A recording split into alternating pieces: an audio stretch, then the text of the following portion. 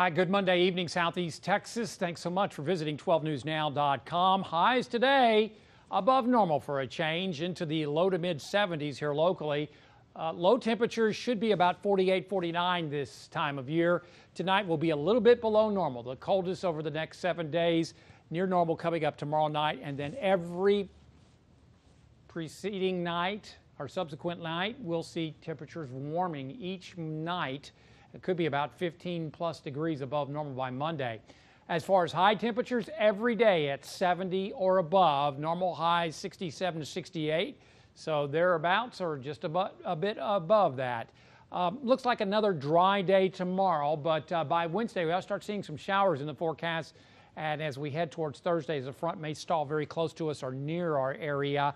And then every day is going to have at least a chance of some light rain according to the medium, both medium range models. Otherwise, high pressures in, our char in charge in our, of our weather tonight.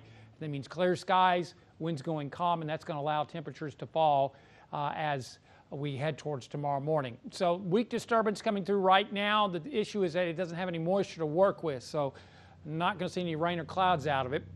A westerly flow will warm us up in the upper levels as we head towards uh, midweek.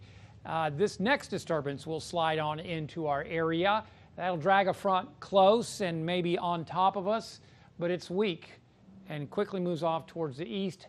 And that means that that front will stall and probably work back to the north. So we don't get any cooling out of this front. Tonight, under clear skies, we'll see light winds going calm, and that radiational cooling removes the heat that we saw today because of the sun, and will probably drop into the upper 30s in the lakes area and uh, close to 40 here in the triangle, low to mid 40s, and beautiful weather. South winds return tomorrow and we'll likely see highs return into the low to mid 70s. On the Gulf of Mexico tomorrow, slightly choppy seas around 1 to 2 feet in your coastal marine forecast and a southeast wind at uh, 5 to 10 knots expected. Water temperature at 48. Tonight, clear and chilly. The lows will be into the upper 30s in the lakes to the lower possibly mid 40s in the triangle as winds go calm. Then tomorrow, sunny and warmer highs, low to mid 70s with a south wind. Extended forecast for Wednesday, that south wind will drag higher humidities, mostly cloudy skies, and up 20% coverage of showers, still 72. On uh, Thursday, with that front stalling near or close to our area, we'll go with a 40% coverage of showers, mostly cloudy skies, and then not much change as we head towards Friday, the weekend into early next week, except for temperatures continuing to inch upwards and will be many degrees above normal as we head towards Sunday and Monday. I don't think a lot of people are going to really mind that after what we just experienced. Download our app.